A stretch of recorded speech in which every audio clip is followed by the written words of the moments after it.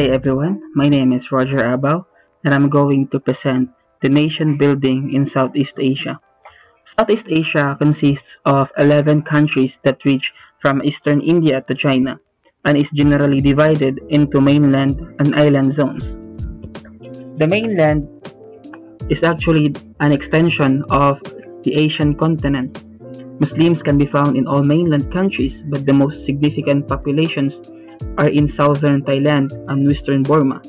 The Cham people of the central Vietnam and Cambodia are also Muslim. The geography, environment, and cultural zones in Southeast Asia. Virtually all of the Southeast Asia lies between the tropics, and so there are similarities in climate as well as plant and animal life throughout the region.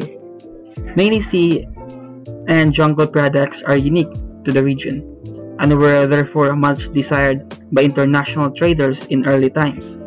There are some differences in the physical environment of mainland and island Southeast Asia. Temperatures are generally warm, although it is cooler in highland areas. For example, Several small islands in eastern Indonesia were once the world's only source of cloves, nutmeg, and mace.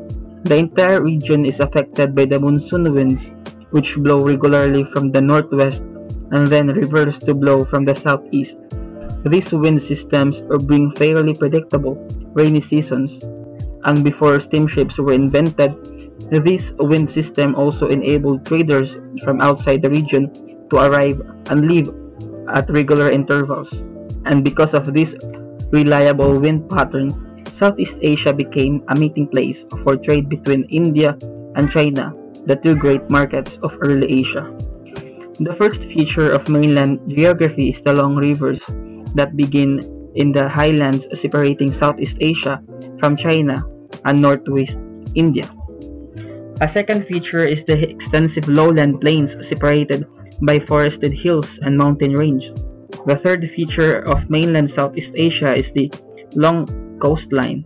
Despite a strong agrarian base, the communities that developed in these regions were also part of the maritime trading network that linked Southeast Asia to India and to China. These fertile plains are highly suited to rice-growing ethnic groups, such as the Thais, the Burmese, and the Vietnamese, who developed settled cultures that eventually provided the basis for modern states. The highlands were occupied by tribal groups who displayed their sense of identity through distinct, distinctive styles in clothing, jewelry, and hairstyles. The lifestyle, livelihood, and subsistence in Southeast Asia. A distinctive feature of Southeast Asia is its cultural diversity. Archaeological evidence dates human habitation of Southeast Asia to around a million years ago, but migration into the region also has a long, long history. Around 4,000 years ago, people speaking languages belonging to the Austronesian family began to trickle into island Southeast Asia. Of the 6,000 languages spoken in the world today, an estimated 1,000 are found in Southeast Asia. A remarkable feature of Southeast Asia is the different ways people have adapted to local environments in pre-modern times. M many nomadic groups lived permanently in small boats and were known as orang laut or sea people. On the, on the fertile plains of Java and mainland Southeast Asia, sedentary communities grew irrigated rice along the coasts, which were less suitable for the agriculture because of mangrove swamps, fishing, and trade were the principal occupations. Cultural changes began to eh, affect Southeast Asia around 2000 years ago, with influence coming from two directions.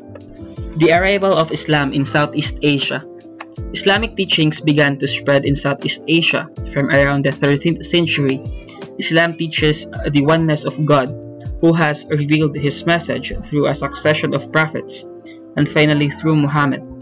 There are no priests in Islam, but there are many learned teachers known as ulama who interpret Islamic teachings according to the writings and commentaries of scholars in the past, and the teachings of the four schools of law practiced within the majority Sunni tradition. The basic teachings of Islam are contained in Quran, the revelation of Allah's will to Muhammad, and in the Hadith reports of Muhammad's statement or deeds. There are several specific requirements of a Muslim which are known as the five pillars. And after the Prophet's death, Islam continued to expand at the height of its power between the 8th and 15th centuries. Islam was subsequently brought to India by a similar moment of conquest and conversion, and its dominant political position was confirmed when the Mughal dynasty was established in the 16th century. The chronology of Islam's arrival in Southeast Asia is not known exactly. From at least the 10th century, Muslims were among the many foreigners trading in Southeast Asia, and a few individuals from Southeast Asia traveled to the Middle East for study. The first confirmed mention of a Muslim community came from Marco Polo, the well-known tra traveler who stopped in North Sumatra in, in 1292. A major development was the decision of the ruler of Malacca on the west coast of the Malay Peninsula to adopt Islam around 1430. The Arabic words were incorporated into Malay, particularly in regard to spiritual beliefs, social practices, and political life. The inscriptions and graves with Muslim dates have been located in other coastal areas along the trade routes. Malacca was a key tra trading center and the Malay language spoken in the Malay Peninsula and East, and East Sumatra, was used in a lingua franca in trading ports throughout the Malay-Indonesian archipelago. Malay is not a difficult language to learn, and it was already understood by many people along the trade routes that link the island world. Muslim teachers therefore had a common language through which they could communicate new concepts through oral presentations and written texts. Islam's success was primarily due to a process that historians term localization by which Islamic teachings were often adapted in ways that avoided major conflicts with existing attitudes and customs.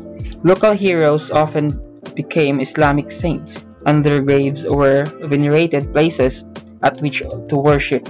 Some aspects of mystical Islam resembled pre-Islamic beliefs, notably on Java. Cultural practices like cockfighting and gambling continued and spirit propitiation remained central in the lives of most Muslims, despite Islam's condemnation of polytheism.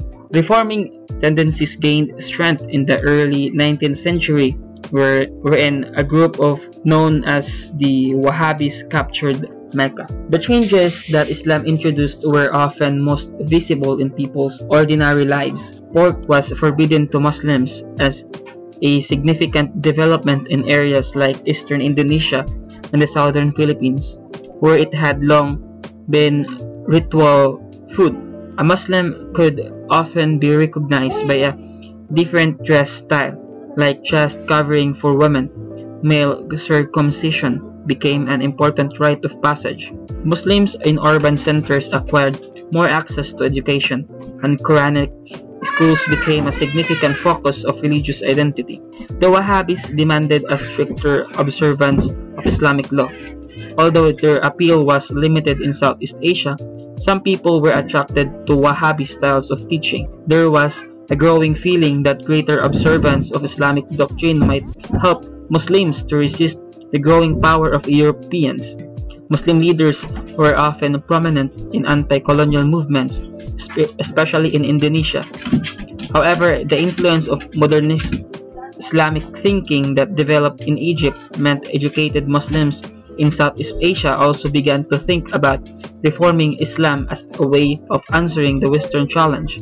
These reform-minded Muslims were often impatient with rural communities or traditionalists who maintained older pre-Islamic customs. Europeans eventually colonized all Southeast Asia except for Thailand. Malaya, Burma, Singapore, and Western Borneo were under the British. The Dutch claimed the Indonesian archipelago, Laos, Cambodia, and Vietnam were French colonies. East Timor belonged to Portugal, and the Spanish and the later the Americans controlled the Philippines. After these countries gained their independence following World War II, The major question for politically active Muslims has concerned the relationship between Islam and the state. In countries where Muslims are in the minority, this relationship is still causing tension. In Malaysia, Muslims are only around 55% of the population and there must be significant adjustments with the largest non-Muslim group, the Chinese. In Indonesia, Muslims are engaged in a continuing debate about different ways of observing the faith and whether Islam should assume a greater role in government. History Southeast Asia became the scene of battles between Allied and Japanese forces during the World War II. Since the war of the countries of Southeast Asia have re-emerged as independent nations, they have been plagued by political turmoil, weak economies, ethnic strife, and social inequalities. Although the situation for most Southeast Asian nations improved in the 1980s and 1990s due to the influence of the Americans. Throughout the 1960s and early 1970s, however, there were open conflicts between the communist and non-communist factions, especially in Vietnam, Laos, and Cambodia. In 1967, Indonesia, Malaysia, Philippines, Singapore, and Thailand created the Association of Southeast Asian Nations, or what we call today as the ASEAN. Since then, Brunei, Vietnam, Laos, Myanmar, and Cambodia have joined ASEAN. In 1997, a monetary collapse in Thailand sparked a general economic crisis in several nations in the region. The results were the most severe in Indonesia, which underwent economic, political, and social turmoil in the late 1990s. Religions, ethnicity, and language were diverse throughout Southeast Asia. There are dozens of religions, including Buddhism, Confucianism, Hinduism, Islam, and Roman Catholicism the people in Southeast Asia. Southeast Asia is the one of the world's great melting pots. Its diverse peoples move into the region in search of a better life and greater security. More than three quarters of Southeast Asia population is agricultural based. Much fish is consumed in this region, reflecting the long coastlines and river environments of Southeast Asia. The staple food throughout the region is rice which has been cultivated for thousands of years. In Asia, there are different styles of eating food. In India and the Middle East as well as the Southeast Asia people typically eat with their hands. It is a very direct way to experience the texture of the food and the people wash their hands before and after each meal.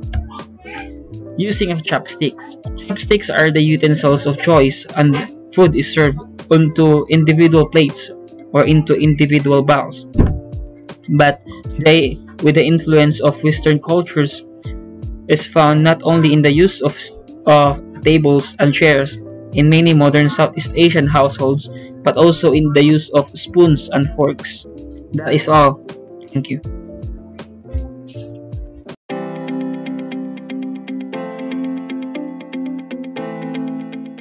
So good day everyone. My name is Lora Mia P. Igaran and today I will be discussing about the nation building of Thailand. Now to start with, let us have a little bit of history and background of Thailand. So the Kingdom of Thailand is one of the few developing countries never to have been colonized.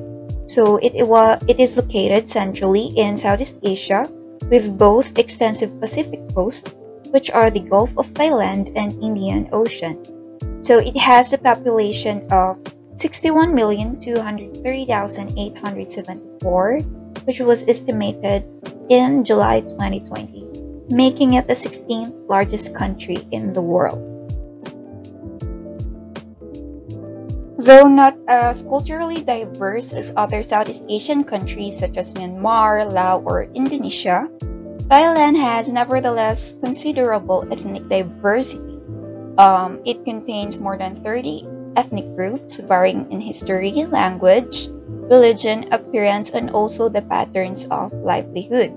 So the three major groups are the very first one, the ethnic Thais, roughly 45%. Next is the Thai of Lausan, located at north east northeast of Thailand um, have 30%, and lastly is the Sino-Thai, roughly 45% of the population. So, from the 9th to 11th century, the central and western area of Thailand was occupied by Mon civilization called Dvaravati. So the Mon shared the same common lineage as the Khmers and settled in southern Burma.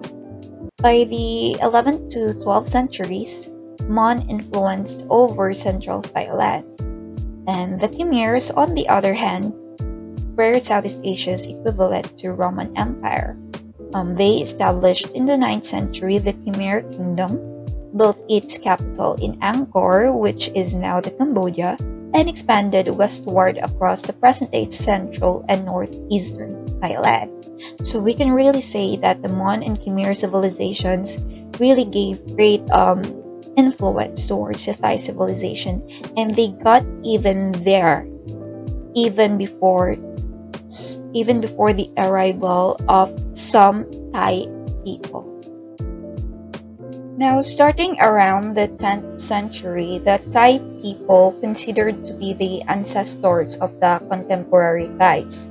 They began migrating from southern China into present-day Southeast Asia. Um, large numbers of Thais fled present-day Burma and China to escape the Mongol armies of Kublai Khan. Several principalities in the Central Plains united and wrested control from the dying Khmer Empire and overthrew it, setting up Sukhothai, which also means rising of happiness as their own kingdom in 13th century.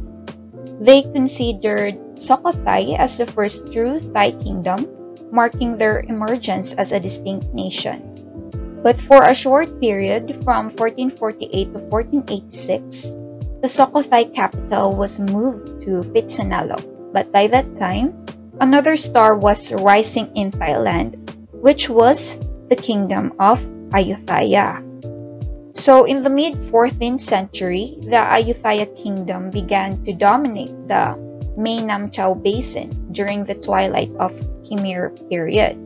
So it survived for 416 years, defining itself as Siam's most important kingdom. Yet the glories of Ayutthaya were interrupted by the expansionist Burmese.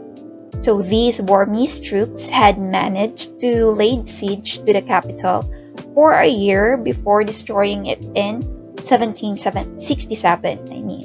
So the city was deeply devastated and its building and people were wiped out. Now, with Ayutthaya in ruins, the line of succession of the king was broken and chaos ensued. So, a former general, Taksin, also known as King Taksin the Great, claimed his right to rule, defeated potential rivals, and established his new capital in Thonburi, a settlement downriver from Ayutthaya with better access to trade. But after 15 years, the king was disposed to military. Um, so eventually, Chao Phraya Chakri assumed the throne as King Yotpa, also known as Ramawan, and established the Chakri dynasty, which still rules today. So the new monarch moved the capital across Mae Nam Chao Phraya to modern day, modern day Bangkok. So the first century of Bangkok Bangkok rule um, focused on rebuilding the cultural, political, and military might of Ayutthaya. Now, in 1932, a group of young military officers and bureaucrats calling themselves as Kana Ratsadon, which also means People's Party, were deeply dissatisfied with the tight political control of Siam's ruling families held over the country.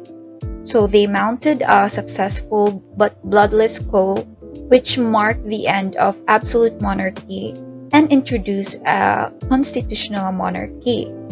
So the leaders of the group were inspired by the democratic ideology they had encountered during the their studies in Europe.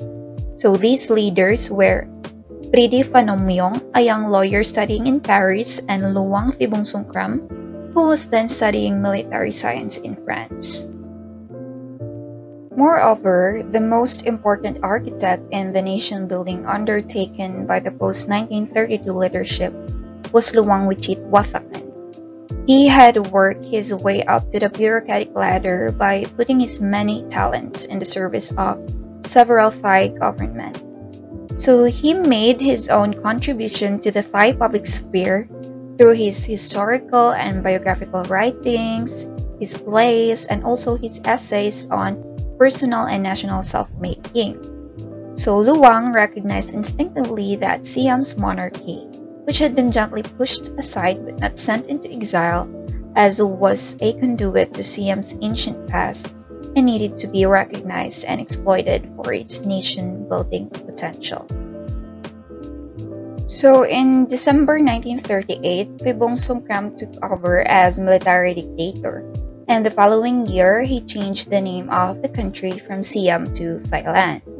So the change was part of his determination to bring his people into the modern world and at the same time to emphasize their unique identity. It was an anti-Chinese move with the slogan, Thailand for the Thai. So there were many Chinese in the country kasi during that time and many prosperous Chinese businesses. But he cut down immigration from China and government-backed Thai businesses were set up so while the use of Mandarin in Chinese schools was also limited to two hours a week. And then Thailand adopted the Western calendar, a new flag was created, and a new national anthem. While he demanded also the Thai to wear Western Thai clothes. So during 1957, Phibul's successor, which was General Sarit Thanarat, subjected the country to a true military dictatorship. He abolished the constitution, dissolving the parliament, and banning all political parties.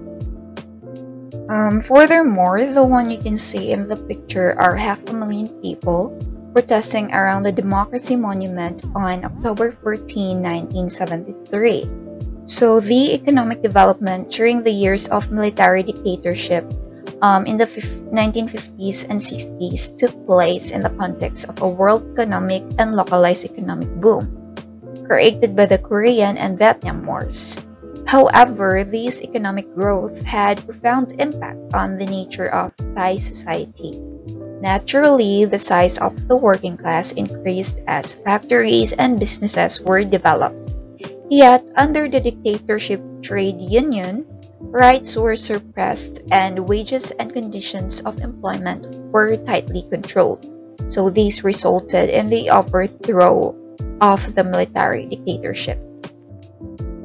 Finally, Thai political and social thought today is still coming to terms with the nation building project launched by the post 1932 elite.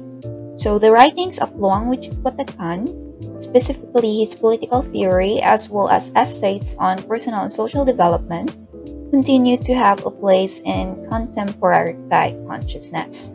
So, from the mid 1980s until the financial crisis in 1997, the economic boom in Thailand opened the northern mainland to Thai business and encouraged travel and tourism in the region and reawakened interest in Thai peoples living in Myanmar, China, and even Laos. So that would be all. Thank you for listening. I hope you have learned something from me. Um, God bless and stay safe.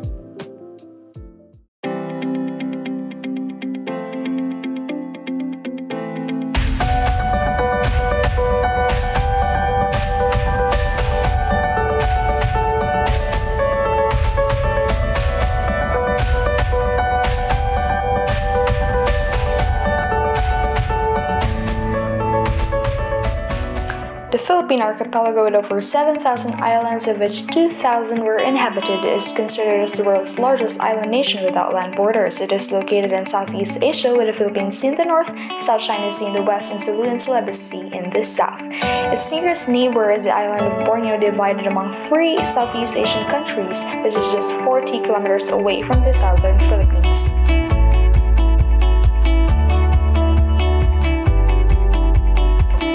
Largest major island is Luzon, where the capital city, Manila, is located, consisting half of the population. The two other islands were Visayas and Mindanao. All in all, there are 17 regions, and among these is the Bangsamoro Autonomous Region of Muslim Mindanao, an independent region in the south. With such geographically and culturally diverse country, we hope to know how did these people get the idea of coming together? How did the people of the Philippines become a nation of Filipinos?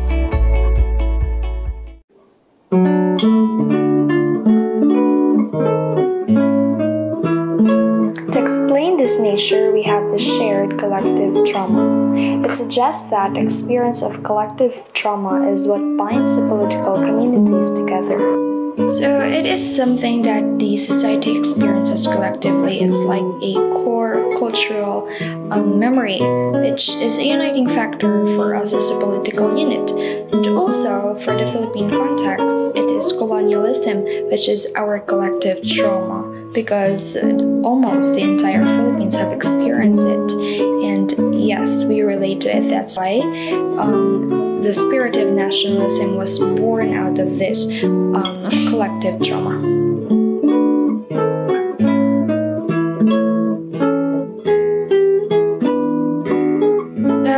Nation building is a very broad process in which the nation comes into being, and its very aim is the unification of the people.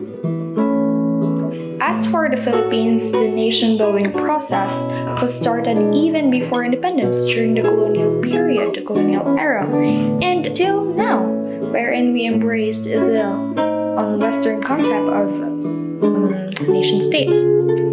However, there are so many challenges that we are facing today, not just the decolonization process before, but also the issue about multicultural, multilingual, and multinationality. Nation building is inseparable from the idea of nationalism because it's quite reasonable that only when a political or cul- cultural community could um, have this sense or idea of nationalism that they could um, go on at the process of nation building as a community in a certain boundary or area.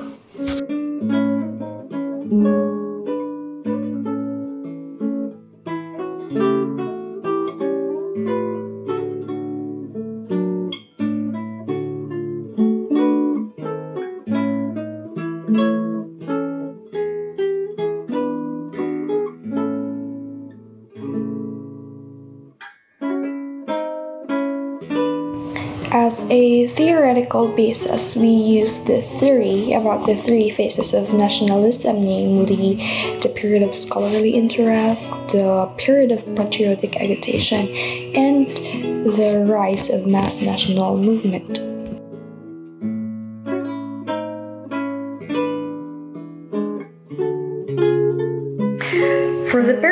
Scholarly interest, we could highlight the life of Rizal as an example. So he left the country 1880 to study abroad in Spain, Berlin, and sort of the countries in Europe.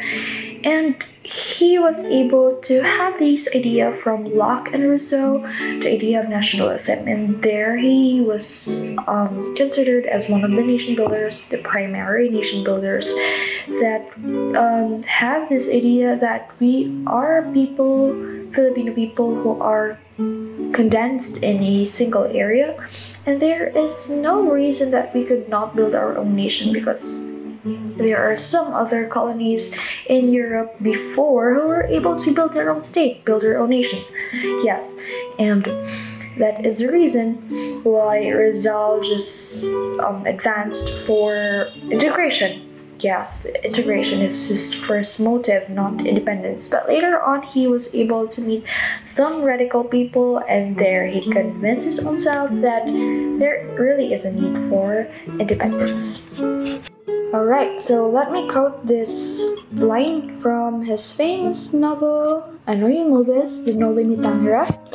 So the people did not complain because they have no voice. They did not move because they are lethargic.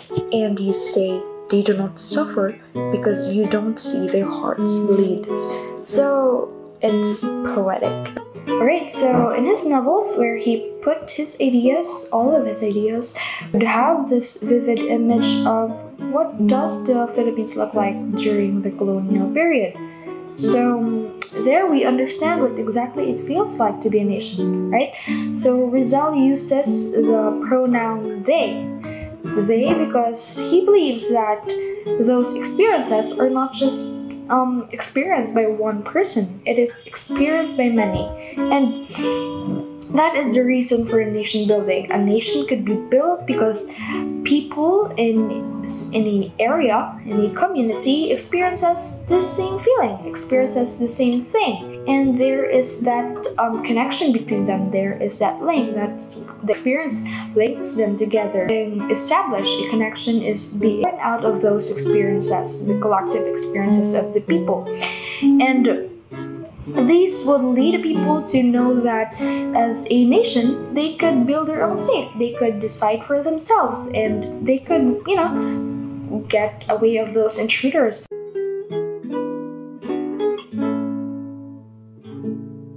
The second phase is action based, and independence was a great leap for the integration of our nation. Emilio Aguinaldo was able to unite leaders from parts of the Philippines, especially the north, and he asked for help from Admiral um, George Dewey, the U.S. Navy commander, so that they could um, supply weapons for the Katipuneros and bring them back here in the Philippines, and also to take control of Manila. So, with the help of the U.S., um, they are able to establish a revolutionary provisional um, government. Second phase, it is the time frame where we crave for our independence because we already recognize ourselves as a nation. So, if the first phase was establishing still the idea that we are a nation, that we are people who are um, having this connection, having this link, for the second phase, um, it is acting upon that idea. It is um, involving involving actions for that idea. So we could highlight the revolution for our independence during this time because we know it for ourselves that we could only build our own nation if there are no um, interfering power from others. There are no um, sort of people who or group of people who would control us. It would be ourselves alone. Ronaldo believes that independence is what we need to move forward. It is our tool towards the actualization of our nation building process. This is how he asserts ourselves as a nation.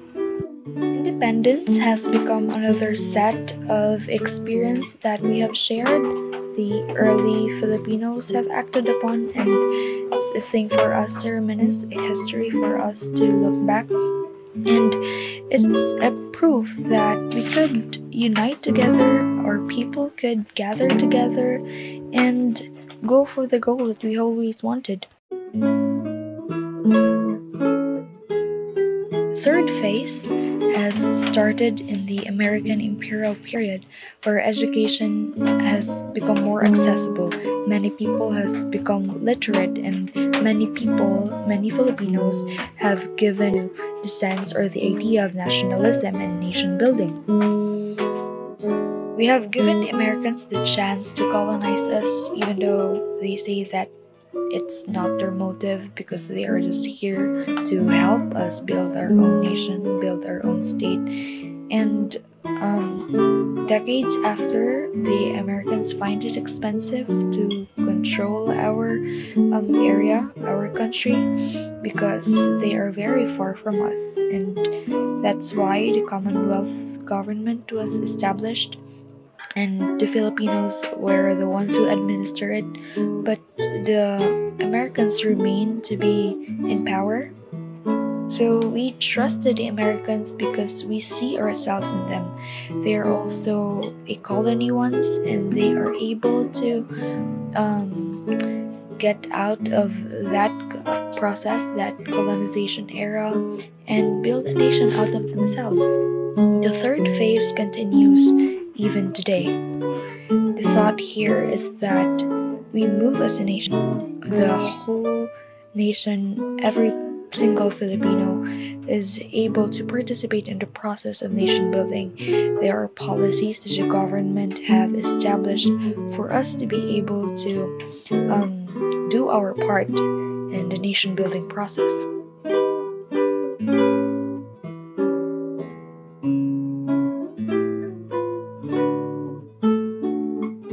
The Philippines is all kinds of diverse, from biodiversity to people.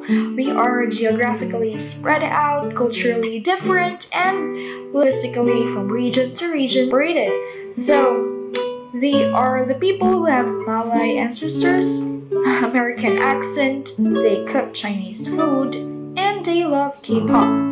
Well, not for me.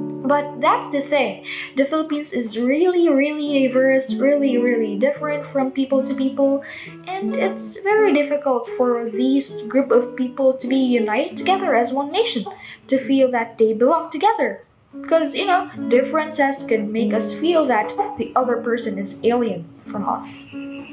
We have here two approaches that would define what is a nation and would help us identify what are our limits in nation building. So, first, we have the modernist approach. It suggests that for a nation to be built, people must be defined by a common culture. They must share primarily a language with, along with the consciousness that they belong or they are having the same identity.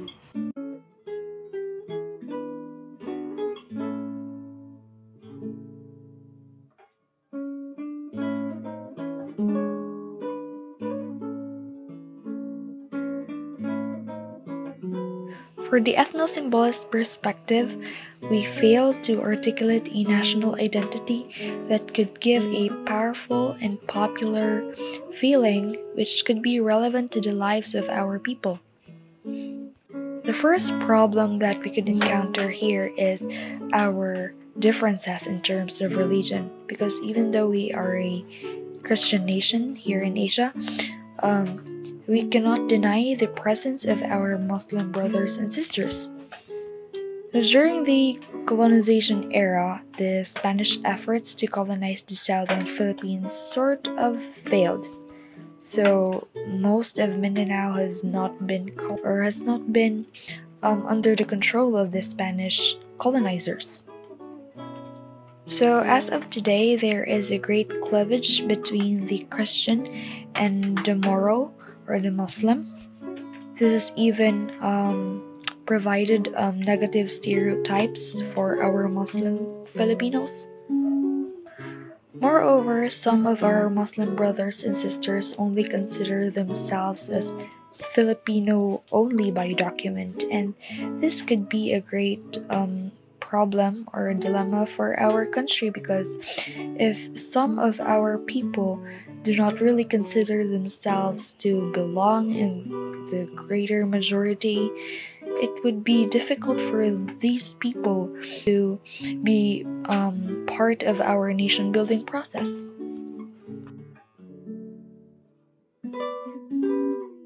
The second challenge we have classified under the ethno-symbolist approach is the marginalization of our indigenous brothers and sisters.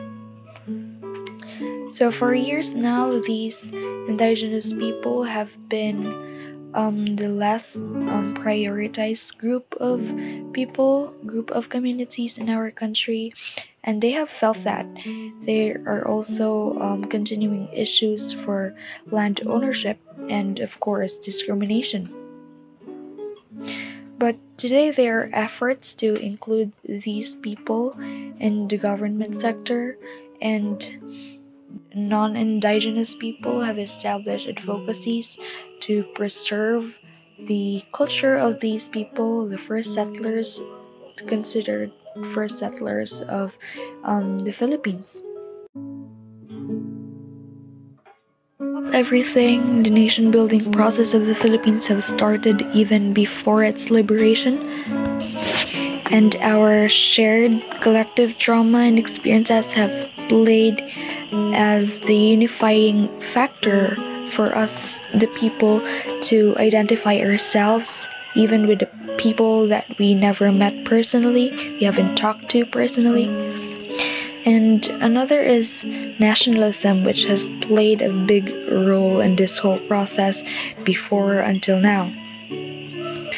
However, there are limits that nation building has been encountering, has been challenging the whole process. First is um, our unifying language. We lack that.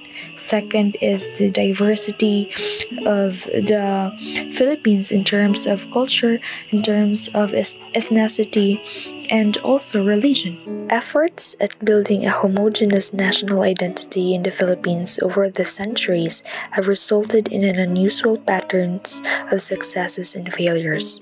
But what is notable for Filipinos is the attitude to try again and do it better. As a nation, we have faced challenges from the outside and the insides of our boundaries. However, these limits have not killed our willingness to be identified with each other and to establish our own adored Filipino nation.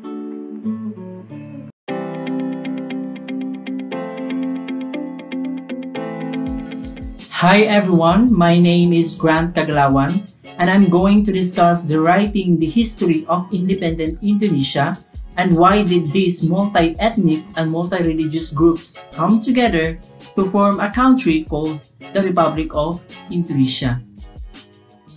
So Indonesia is a multi-ethnic and multi-religious society. According to the 2010 population census, there are more than 145 ethnic groups in Indonesia, of which the largest is still the Javanese, and in terms of religion, Muslim has the majority. So first, we are going to trace back how the Dutch colonialism linked to the birth of modern Indonesia. Indonesian nationalists have argued that Indonesia today is a continuation of the great Buddhist Srivijaya Empire from 7th to 13th centuries and the Hindu-Buddhist Majapahit Empire from 13th to 16th centuries. This is misleading because in fact, Indonesia is a modern construct. It was Dutch colonial rule that united various ethnic groups in Indonesian archipelago under one colonial administration and one economic and legal system.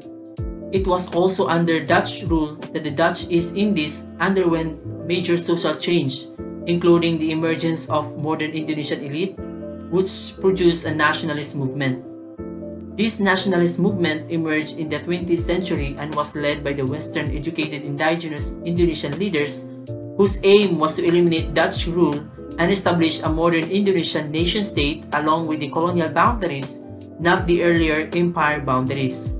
So these leaders declared the country's independence on August 17, 1945, but the actual transfer of power from the Dutch to the Indonesians took place only in December 1949. Nevertheless, the nationalist movement, which can be seen as part of the nation-building process, had started prior to the World War II. All the Indonesian nationalist symbols were created during the nationalist movement.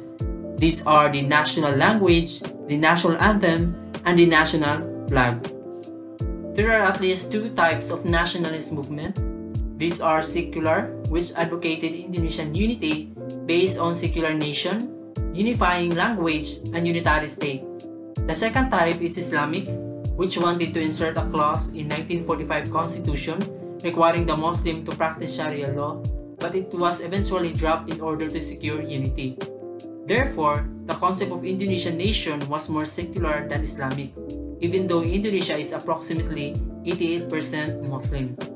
So the nation building process in Indonesia has not been smooth. Ethnic and Islamic feelings have been strong, and the earlier period of the Republic, there were a number of rebellions, with some having strong ethnic characters and others are not. Earlier ethnic conflicts challenged the Indonesian nation state. So the form of Indonesia was at first federal, which would cater to different regional and ethnic interests. However, a few ethnic groups rebelled against the central government and sought to establish an independent state. So the first serious incident was in South Molucco, the homeland of the Christian Ambonese. Many South Moluccans have family members in other parts of Indonesia, and the rebellion was identified with the Dutch. So in the eyes of the Indonesian nationalists, this was a Dutch plot rather than the genuine desire of the people. So after the rebellion, Indonesia became a unitary state which gave more power to the central government in Jakarta. So the second rebellion took place in Aceh, a strongly Islamic area. The Acehnese saw the Indonesian Republic as a Javanese and Minangkabau dominated state. However, the rebellion eventually failed, so the government employed soft and hard strategies. It restored the provincial status of Aceh and appointed an Acehnese as the governor. So using strong military operations and the divide and the rule policy among the Acehnese, the rebellion was eventually crushed. So the third rebellion involved Irian Jaya independence movement and was known as the Free Papua movement. Unlike the two earlier separatist movements, the Free Papua movement is recent and smaller in scale. National integration and the Pancasila ideology.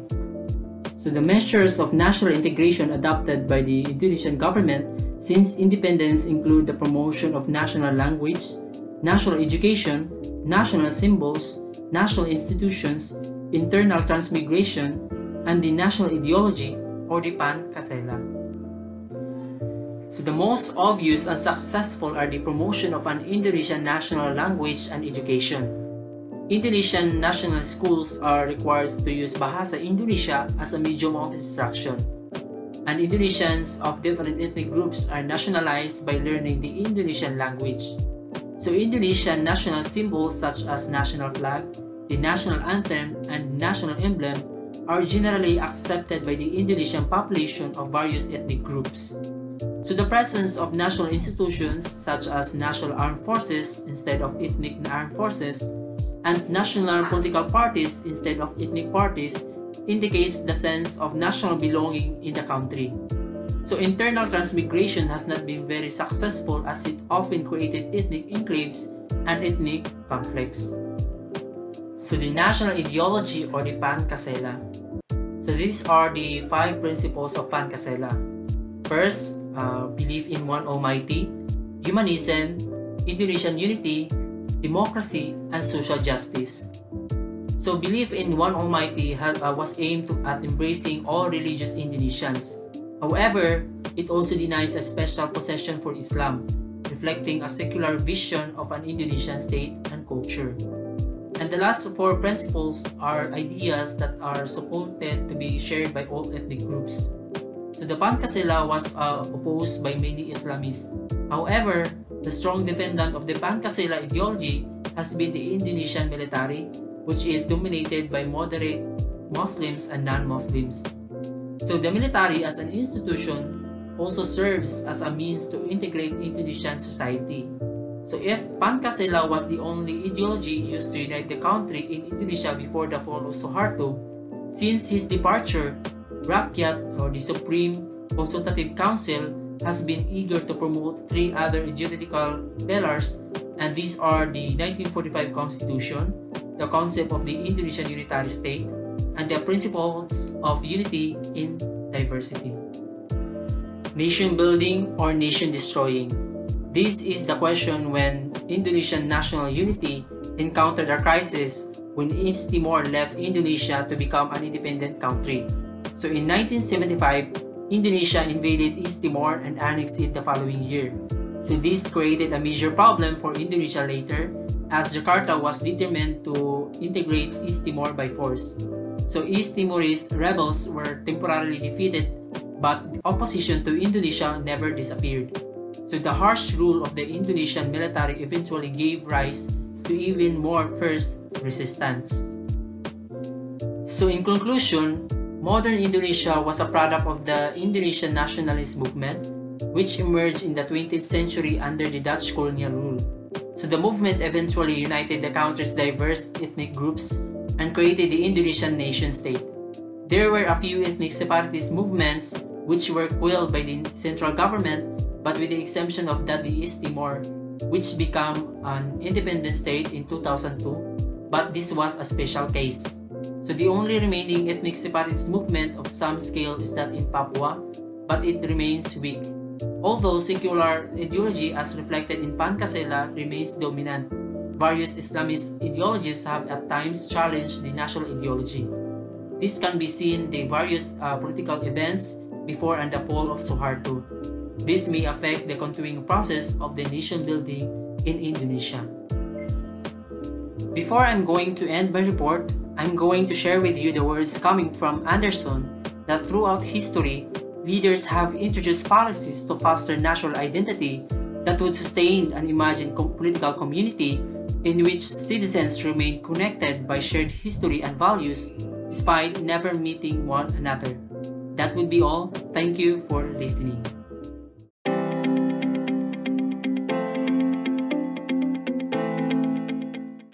Nation building in Malaysia. So before we start, let us first have a little heads up on what nation building is. So nation building refers to the process of constructing national identity using the power of the state. So people from diverse origin spoke different languages, uh, different historical background and culture, as well as religion converge and become unified. So these are the focus of this topic. The first one is survey the complex nature of state building. So we are going to investigate how Malaysia as a country grew. Uh, the second one is discuss how Malaysia responded to its condition or how it deals with the issue of nation building. We are going to see how Malaysians address their issue of nation building. So the third one is compare how Malaysia developed socio-cultural basis for national integration. So what kind of nation state is Malaysia? Malaysia has lacked clear-cut national identity. However, Malaysian Prime Minister Dr. Mahathir envisioned Bangsa Malaysia or this is what what he envisioned that Malaysian people and non-Malay come into a modern, highly developed egalitarian Malaysian na nation. However, on September 29, 2001, he also declared Malaysia as an Islamic state, which is contradictory to what he believed in. And there were those critics that say Malaysia is already emerging as a multi ethnic and multicultural nation. But it is far from a civil society that is democratic, just, and egalitarian. A political scientist by the name of Benedict Anderson dubbed Malaysia as an imagined community. Psychological needs answered by the sense of nationality, the personal and cultural feeling of belonging to or aspiring for a particular nation. So they will never meet or know fellow members, yet they have a sense of unity and a shared goal. However, most Ma Malay nationalists aspire for a Malay nation state, but also there were non-Malay communities desired some kind of multicultural egalitarian Malaysian nation or Bangsa Malaysia. But there were also these religious people such as the past this wanted to uh, establish an Islamic state in Malaysia. So, since there were conflicting ideologies, a Chinese social organization urged Dr. Mahathir to make his vision a reality by removing the differences between Bumiputra or indigenous people and the non-Bumiputra. However, the ensuing debate showed that Malays generally were not yet willing to give up their special rights and privileges. Until then, it seems unlikely to have a Bangsa Malaysia uh, rule. So, is Malaysia homogeneous or multi-ethnic? Cornelia Navarre calls Malaysia a fictional entity. There were those nationalists in Malaysia attempting to create quality of homogeneous people, wherein they share the same culture, the same language, and who are governed by some of their number who share their interests. However, the challenge was that, for instance, a nationalist leader of dominant ethnic majority would try to integrate or assimilate other ethnic communities. It would create ethnic antagonism with most most communities that wishes to be autonomous. what helped glue Malaysia together? Politically, since the independence, Malaysia has put in place a parliamentary democracy with a periodic elections, which led to the creation of UMNO. And UMNO wanted to protect the interests of Malays and non-Malays. Moreover, there were certain policies that promote harmony between the Malays and non-Malays. One example is a policy created by Mahathir Mohamad which aims to create an inclusive identity for all inhabitants of Malaysia. So this policy is what we call Bangsa Malaysia. The, there is also a governmental success that paved way in instilling nationalism in Malaysia. The four prime minister, namely Tunku Abdul Rahman, Abdul Razak Hussain, and Hussein Onn, and also Mahathir bin Mohamad, offered policy that further strengthen their nationalism.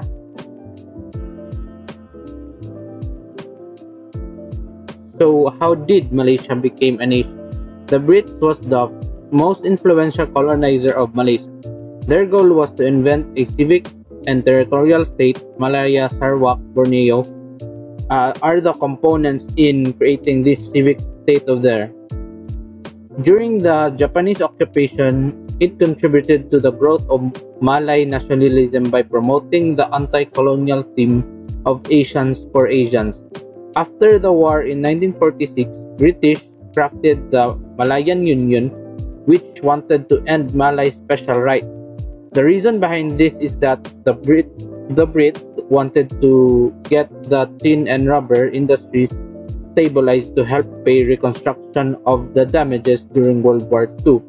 To ease racial tension, the creation of UMNO, MIC, MCA was there to help unify both Malays and non-Malays.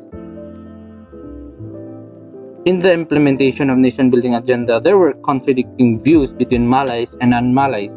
So non-Malays preferred a minimalist and less government intrusive approach, whereas Malay nationalists opted for a strong state intervention so let us start with Malay. Malay nationalists argued that the past was the cause of their weak economic position, so they looked at the state to advance their status. And they believed that through education and sharing the common language, young generations of Malays would have an identical outlook on the nation. And they also wanted an Islamic state. On the other hand, the non Malays voted on laissez faire, which means the government is less involved in the economy. They also wanted separation of religion and state so public power would not be influenced by religious institution and moreover it would they the laws would not be in par with religion and it would not be as biased So the challenges are still prevalent in unifying Malaysia. So the challenges were the racial tension between these um, ethnic groups, such as the non-Malays and the Malays, which wanted different uh, way of running the politics and different way of seeing culture. So basically, they still have a lot to go when it comes to unifying and the process of nation building.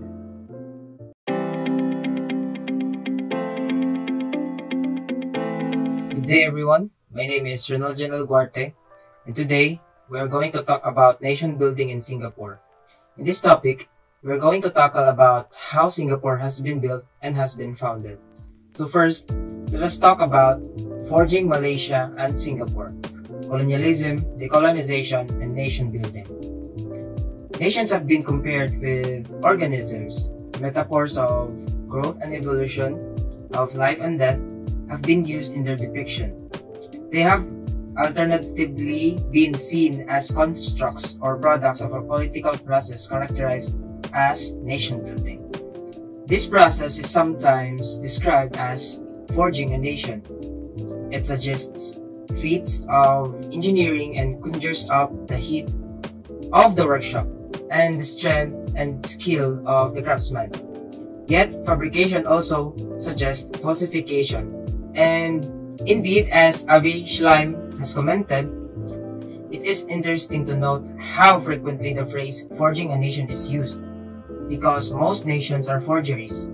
Indeed, some nations are based on little more than a mythological view of the past and of hatred of foreigners.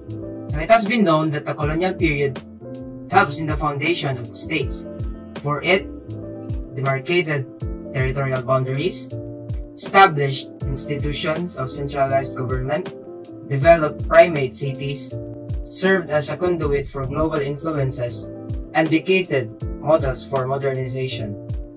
Colonialism was also responsible for the integration of communities within larger government, structures, and economic systems, contributed to individuals' consciousness of being members of a larger community, and colonial state not only provo provoked demands for self-determination, but also provided the mold for its successor, the nation built, the nation state rather. Though colonialism has given some improvements, it also gave some structural flaws, like inequalities between communities or regions and challenging indigenous cultural assumptions, differences within society and between peoples to spawn a variety of competing nationalisms that would later threaten the integrity and jeopardize the stability of nation states. So to furthermore understand how colonization helped in molding Singapore, let us go back to its history.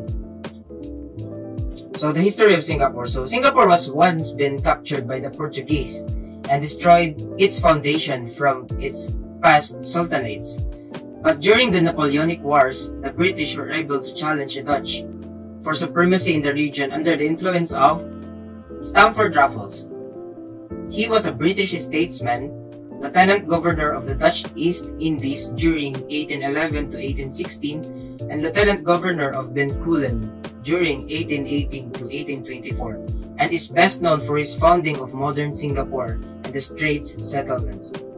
He joined the East India Company at the age of 14, and by the age of 24, he learned local languages in and around Malaya, and was promoted to Governor of Java at the age of 30.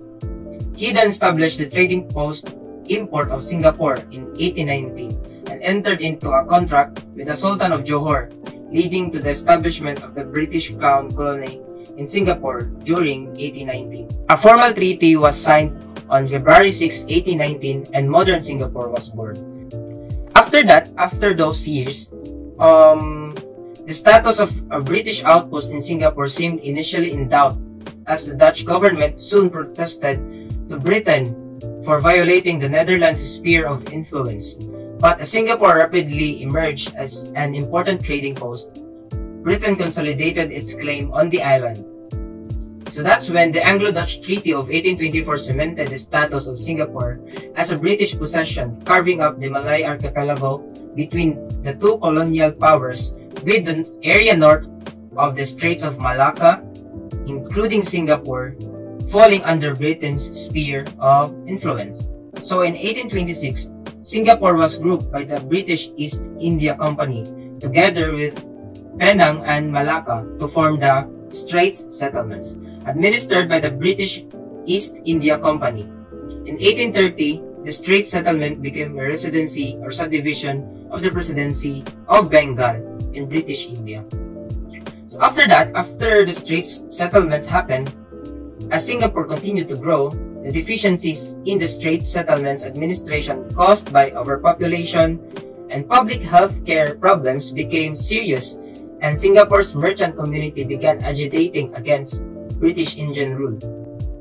So the British government agreed to establish the Straits Settlements as a separate crown colony on April 1, 1867. This new colony was ruled by a governor under the supervision of the Colonial Office on London an executive council and a legislative council assisted the governor. Although members of councils were not elected, more representatives for the local population were gradually included over the years. And the city itself received a facelift. Public buildings were constructed, modernized police force, and institutions were established that brought an end to some serious social problems. So it was not long until the Japanese arrived and the World War II happened. During World War II, the British colony surrendered the Allied forces in Singapore to the Imperial Japanese Army due to shattered defenses and exhaustion of supplies. That would lead to Singaporeans losing their trust to the British colony. Singapore was renamed into Shonan, that means the light of the south.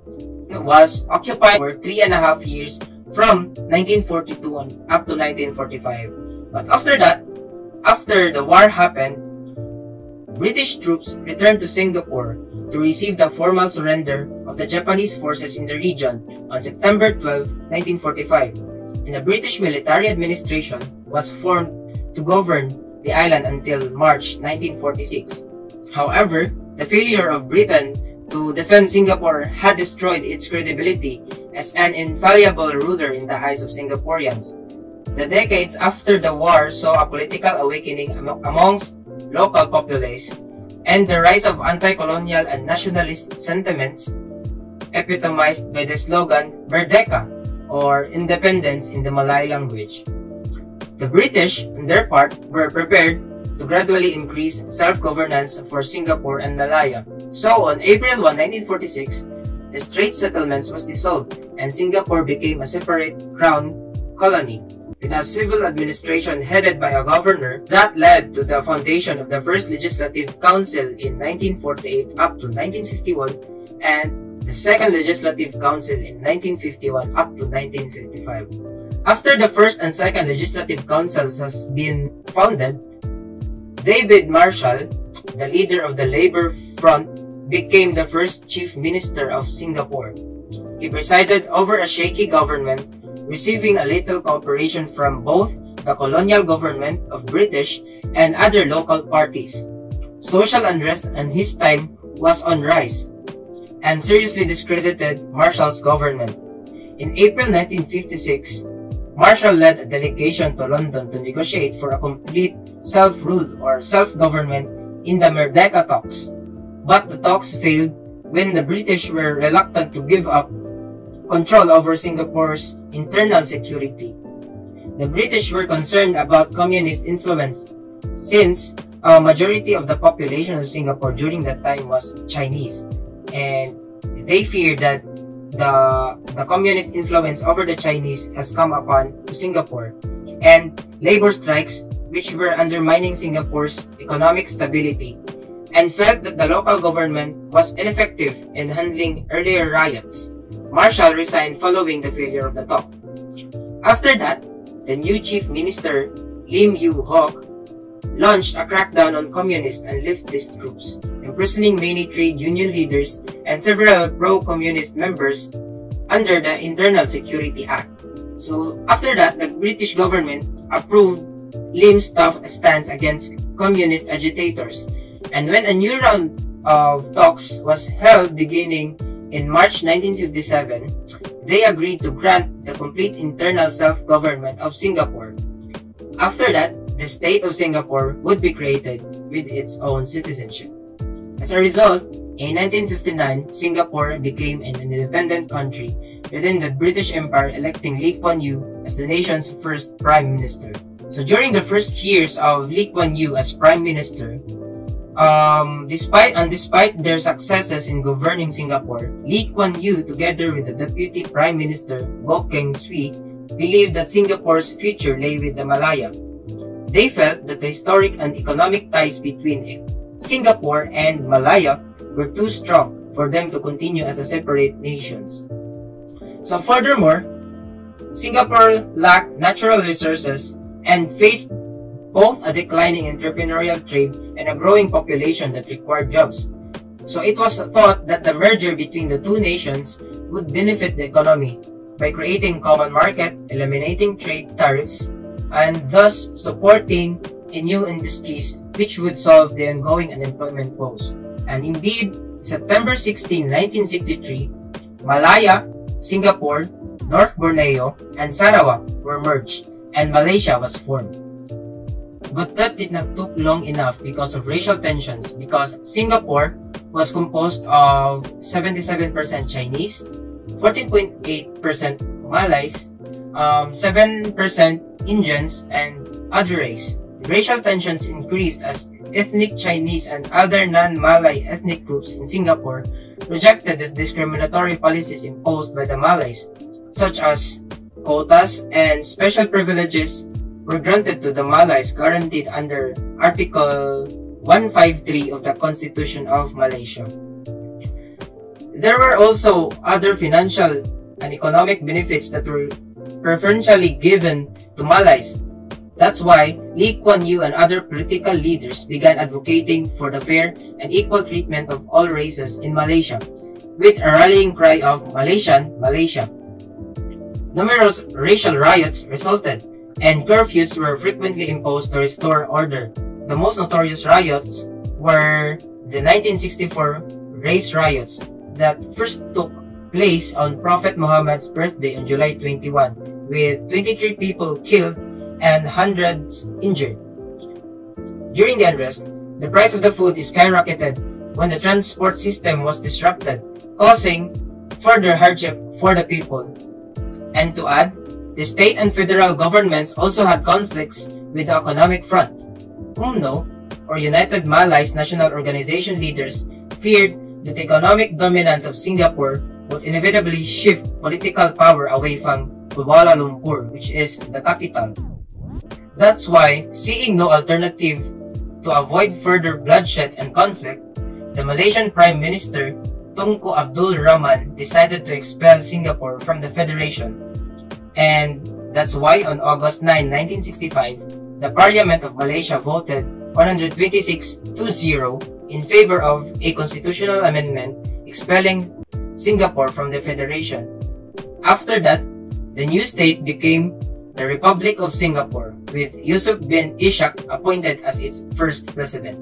Not long after it became Republic of Singapore, and after gaining independence abruptly, Singapore faced future filled with uncertainties.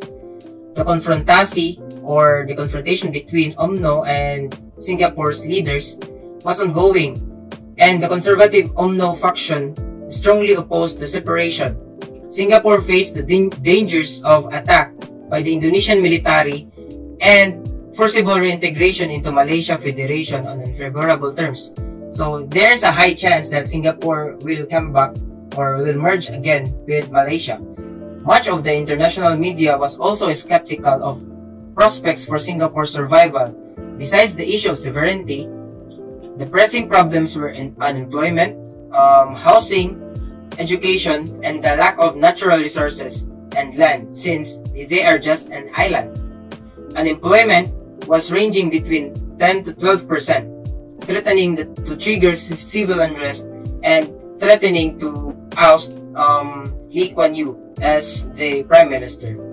So after that, Singapore immediately sought international recognition of its sovereignty. So the new state joined the United Nations on September 21, 1965, becoming the 117th member, and also joined the Commonwealth in October that year. And not much after that, Singapore later co-funded the Association of Southeast Asian Nations, or ASEAN, on August 8, 1967. After they have gained uh, their independence, they have to cope up with whatever is lacking within them.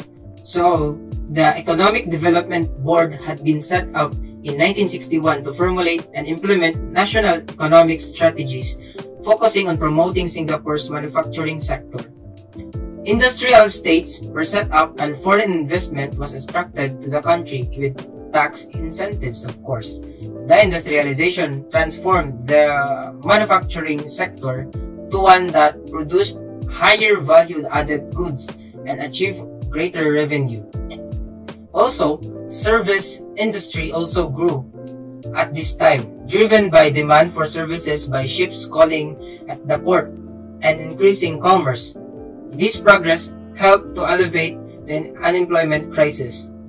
Adding to that, Singapore also attracted big oil companies like Shell and Esso to establish oil refineries in Singapore which by mid-1970s became the third largest oil refining center in the world. The government invested heavily in an educational system that adopted English as the language of instruction and emphasized um, practical learning to develop a competent workforce well suited for the industry. Also, the lack of good public housing, poor sanitation, and high unemployment led to social problems from crime to health issues. That's why the Housing Development Board set up before independence continued to be largely successful and huge building projects sprung up to provide affordable public housing to resettle the squatters. Within a decade, the majority of the population had been housed in these apartments. Adding to that, the Central Provident Fund or CPF housing scheme introduced in 1968. It allows residents to use their compulsory savings account to purchase HDB flats or those apartments and gradually increases home ownership in Singapore. British troops had remained in Singapore following its independence, but in 1968, London announced its decision to withdraw the forces by 1971. With the secret aid of military advisors from Israel, Singapore rapidly established the Singapore Armed Forces with the help of a national service program introduced in 1967. Since independence, Singaporean defense has been spending approximately um, 5% of the gross domestic products. Today, the Singapore Armed Forces are among the best equipped in Asia. During 1980s and 1990s, further economic success continued through um, those years with an employment rate failing to 3% and the real GDP growth averaging at about 8% up until 1999. During the 1980s, Singapore began to um, upgrade to higher technological industries such as wafer fabrication sector in order to compete with its neighbors which now had cheaper labor. Singapore Changi Airport was opened in 1981 and Singapore Airlines was developed to become a major airline. The Port of Singapore became one of the world's busiest ports and the service of and tourism industries also grew immensely during this period. Singapore emerged as an important transportation hub and a major tourist destination. The Housing Development Board or HDB continued to promote public housing with new towns such as Ang Mo Kio being designed and built. These new residential estates have larger and higher standard apartments and are served with better amenities. Today, 80 to 90% of the population lives in HDB apartments. In 1987, the first mass rapid transit or MRT line began operation, connecting most of these housing states and the city center. By the success of Lee Kuan Yew coping up with independence, he resigned out of office on November 28, 1990 and was replaced by Goh Chok Tong and became the second Prime Minister of Singapore. He was in office on November 28, 1990 up to August 12, 2004. After his term, he was then followed by Lee Kuan Yew's son, which is Lee Hsien Loong, which took office on August 12, 2004 up to the present. At this point, the narrative moves on. Since August 1965, nation building in Singapore has differed from the process in many um, other post-colonial states. Uh, it has not depended on a mythological view of its origins and a hatred of foreigners. On the contrary, being a society of immigrants and unencumbered by a pre-colonial history, um, Singapore has neither raked over the past nor turned on, on itself. Rather, it has pursued modern goals and has planned for a future in which the city-state will remain indispensable to the region Nation building here has also differed from the experience elsewhere in Southeast Asia, largely because of features that distinguished the island from its neighbors, such as its size, its location, um, its commercial traditions, and Chinese majority. As a result of separation from Malaysia, the state of Singapore resumed its precise close-knit geographical definition, which is to be a an industrial um, country unique amongst um, Southeast Asian countries in having an overwhelmingly Chinese majority. Um, Singapore has greater ethnic homogeneity than all the others.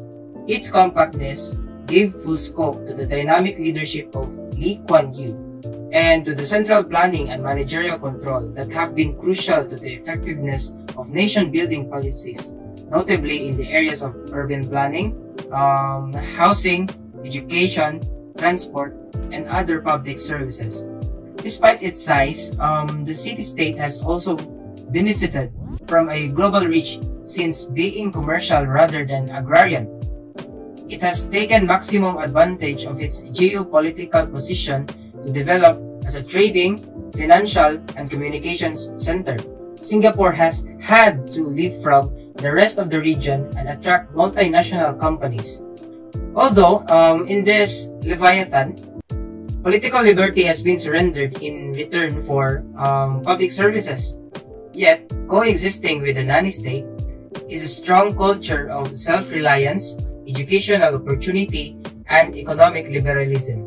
Locked together, state and the individual have cemented social solidarity, while planning and prosperity have endangered a national self-confidence. However, siding with self-confidence stalks fear.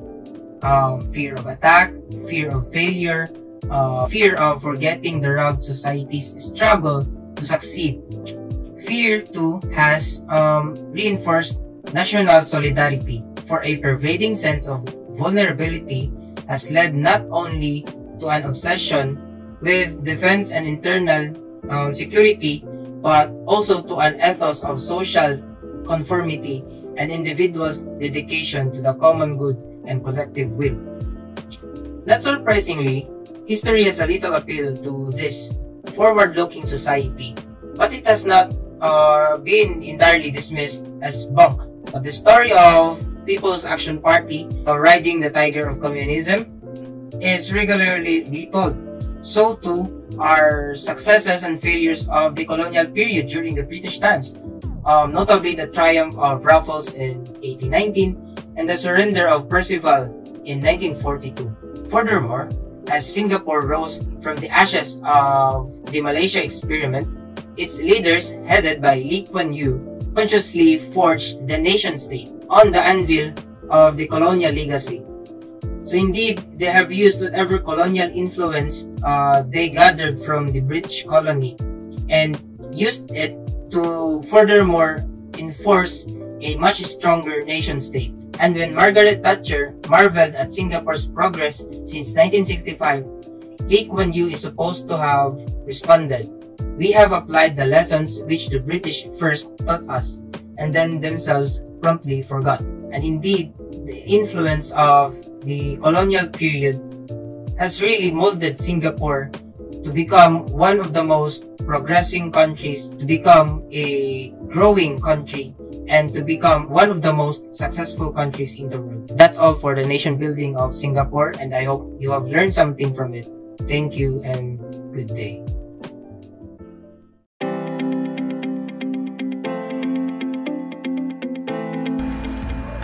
Day, everyone. Join me as we discover how Brunei Darussalam built its nation.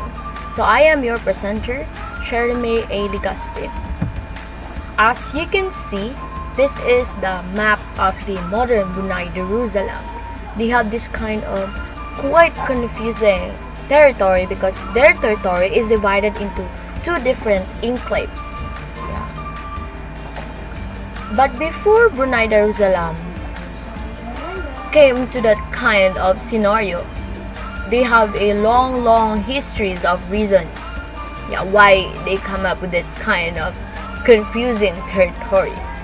But before we start the presentation, I will start it with the quote made by the Sultan current I mean the current Sultan of Brunei Darussalam Hassanal Bolkiah so he said in his quote, Future peace, prosperity, and confidence depend not just on ourselves, but on the success of all nations. Hence, we are all partners no matter what our backgrounds, cultures, faith, and histories. So this is the history of Brunei. So we all know that Brunei was situated in the island of Borneo. The little territory there is the Brunei. But do you know that before Brunei, I mean Borneo was divided into four political regions, it was once owned by a single empire. I mean almost of the part of Borneo was once owned by an empire which we call the Bruneian Empire. When I say mo- almost all of the of the island of Borneo, I mean I mean that it's it is just about 90% of the land was owned by the empire because the Bruneian Empire was into the thalassocracy um, power which the power is into the maritime realm and it is not just the almost part of the Borneo was once owned by the Bruneian Empire. Actually Palawan and some part of Luzon here in the Philippines was once part of the Bruneian Empire and I will ex explain in the latter part why Brun I mean Palawan and some part of Luzon was no longer part of the Brunei. So you must also know that the name of the island Borneo was from was derived from Biruni and Puni which means Brunei by a Portuguese navigator in the 15th century. So basically Borneo is, was from was crafted from the name from the name of the country Brunei. And before Brunei Empire almost dominated the whole island, there were, were already empire who gone into that island. Including of those islands is a Srivijaya Island, one of the greatest greatest greatest empire of the history of Southeast Asia, where the influence of people living there, the religion of Hinduism, and it was so also believed that Song and Tang dynasty um, also gone into that island and they influenced Buddhism. But all of those religion was um, vanished because the king of Brunei, the emperor of that time in that island, converted himself into Islam because at, at that time Islam comes into popularity that really wounded them that that's why they neglected all of those influences that was given by those um, previous empire was was gone because of the popularity of Islam. Islam really wounded them. So yeah, again, Brunei king convert to Islam and installed an Islamic sultan during the spreading of Islam religion throughout Southeast Asia at the 14th century. That made the whole Borneo island are ruled by Islamic Brunei kingdom during 14th and 15th century. So that made the whole island of Borneo an Islamic now. So that's the reason why we can in in this time that's the reason why people living in Borneo are Islams or Muslim. So who knows if the Brunei king didn't convert himself to Islam, maybe the island have this kind of Buddhism and Hinduism religion, but that's all part of the history now. So let's move on. So I already discussed the glimpse history of Brunei. So we have this question how Brunei came into a, as a nation, as one nation. So before going that part, let us know the beginnings. So I had discussed in the in the previous slide that Brunei was once an empire. An empire was challenged by a crisis. And it is not new to an empire to have a crisis despite of the richness of bountifulness. But they will that um, time will really time will really come that they will experience crisis like just what happened to the Roman Empire so the crisis that happened in the Brunei is what we call the Brunei Civil War and do you know that the Brunei Civil War just happened because of the cockfight? Yeah, you heard me right. Just because of the cockfighting. The one that your lolo, your uncle, or your father play. Yeah, literally, the sabong. Was once the reason why Brunei Civil War happened. So this is the story. The son of the Sultan and the and the son of the prince. Uh, the the his cousin gone into a cockfighting and the son of the sultan was uh, lost the game to his cousin which happened to be the the son of the prince sibling of his father. So his cousin mocked him. Yeah yeah. You're a loser loser like that. So this the son of the sultan was so mad so because of madness he killed his cousin. And after that he flew and i don't know where he goes. But after no after after the what happened the prince the prince the sibling of his father heard the news and he was so mad and he want to kill his nephew.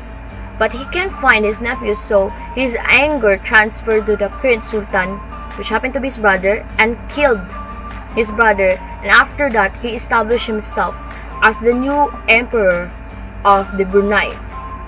So to avoid the revolution of the supporters of the deceased sultan, he made the grandchild of the of the deceased sultan to be one of the officials. But in the latter years, the the supporters of the deceased sultan persuade the grandson of the deceased sultan to revolt against the king, against the current sultan because they said they he has the right to be the next sultan because he is the grandson of the deceased sultan. At first, the the grandchild was so what do you call this um, hesitant to do that. But after that, they realized that yes, I am. I have the right to be the next sultan because my father, I mean my grandfather, is the is the sultan. Yeah, so they revolted, and and here comes the Sultanate of Sulu who helped in the Brunei Civil War, and because of the help, they won, and then as a gift, Brunei gave East of Sabah to the Sultan of Sulu.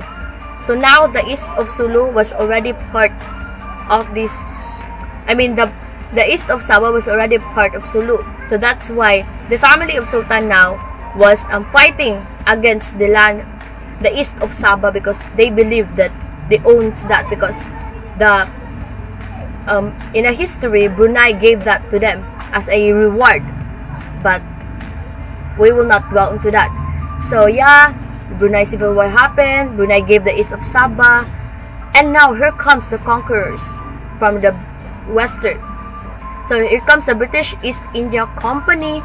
They go to the northern of Borneo, and the King of Brunei uh, ceded the, the land of Sarawak. So Sarawak now was owned by the by the British, you know. So the territory of the Brunei was nakulangan na because they give the Isaba and then they now they give the Sarawak.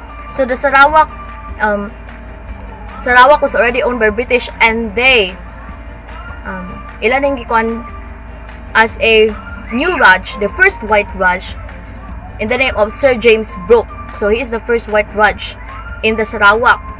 So because of that happenings, the decline of Brunei Empire happened because their territories was already um, no divided into different regions. So the Sarawak was into the British East um, to the British, and then the east of Sabah was already given to the Sultanate of Sulu, and then the the territory in the Philippines was already colonized by the Spaniards.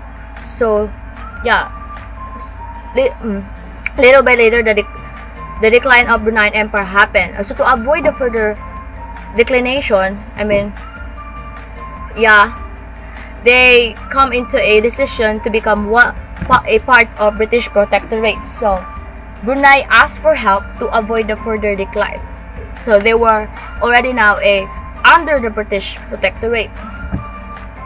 So after being a British protectorate during the in the latter part of 1960s, the British the Britain um, government gave this some power to the Sultan Sultan of Brunei to govern itself, but still under the pressure of the British. Yeah. So another decision that nga nag-rise sa Brunei Sultan is to be to union with other countries. So Brunei would align itself to Singapore, Sabah, Sarawak, and Malaya and for Malaysia. But they changed but the Sultan's mind was changed because the Sultan is not yet ready to share his wealth to other countries and also to secure his power to his land. So yeah, he declined those offers. So after those in 1971, under agreement with the UK, Brunei ceased to be a British protected state. The constitution was amended to give the Sultan full control over all internal matters, the UK retaining responsibility for defense and foreign affairs. Brunei became a fully independent sovereign state on January 1, 1984.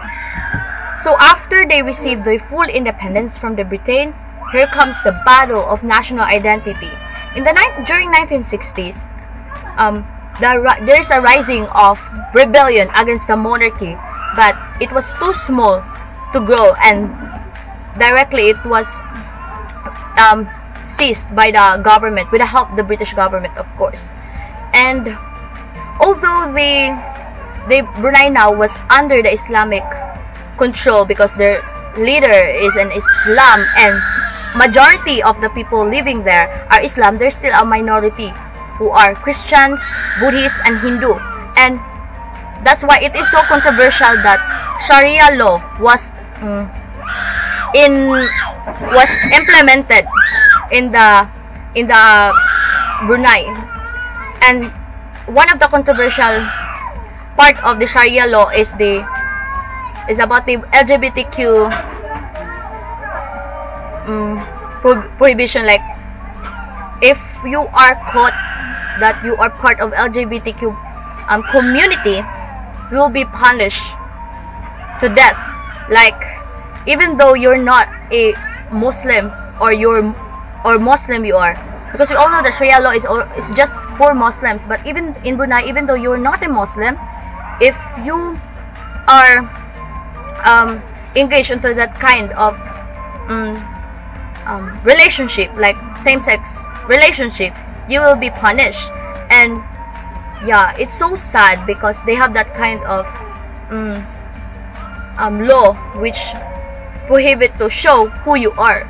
That's why the people of um, Brunei are really what you call this. Not that they don't experience really a what we call democracy despite of they already um, um, um, received the independence from the British. And but what amazed me the most is that despite of those laws that was implemented in their country, they they still live as one. They are not they are not divided, and they they become as one nation because of their um, leader Hassanal Bolkiah. He is so admirable because he he made his state to be a a one nation despite of what religion that you have. And and that's the cause why there's no revolutionary revolutions that happen in their in their island right now. Although because of the so much um, I mean tight tight power of the of the sultan. Because sultan is one of the last absolute leader in the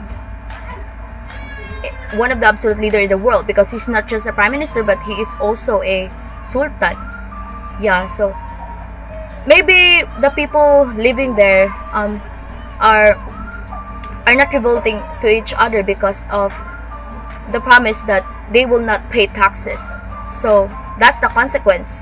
The sultan um, promised them not to pay taxes but just to obey obey the law. And for them law is law. That's why that's why they really um, peaceful country because they believe that they live as one. They have this one they live as one. They have the same culture although different um, religion but this is just a minority. That's why that made them a one nation. So that's all. Thank you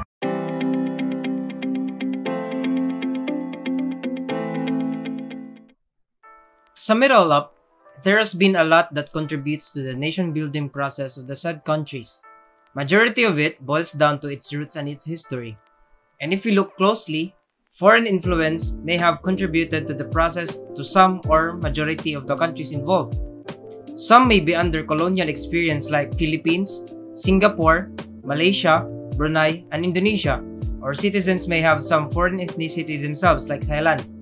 Though this foreign influence may have contributed a lot in the nation building process, it also gave some negative impact that also delays the process itself, like the division of social opinions and the domination of these alien norms and practices that disregarded the origins and history of a country. While in the process of building their nation, problems may have surfaced like cultural and religion diversity, multi ethnicity, social problems, and the abuse of powers of the leaders themselves. But what's more important is how they cope up and made proper solutions to address these problems, like establishing national symbols, language and religion that represents the people, um, strengthening their economy, fixing their constitution, and by codifying laws that benefits their people. By identifying history, influences, problems, and their solutions, you can see how the process of nation building has been effective. And it can be seen today as Southeast Asian countries has been continuously progressing over the years. Some countries may have not the most pleasant history that there is, but it helped them strengthen their nation and face the challenges of independence.